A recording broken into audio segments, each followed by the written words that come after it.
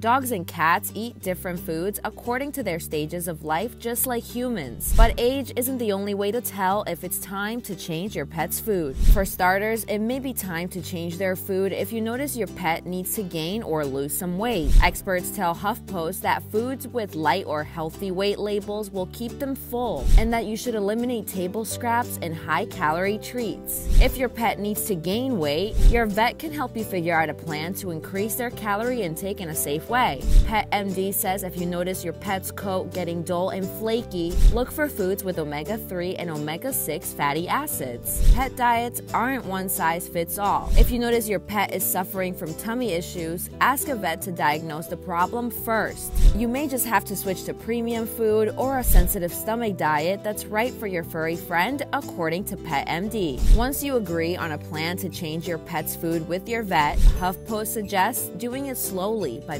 mixing the new food with the old food and slowly weeding out the old food.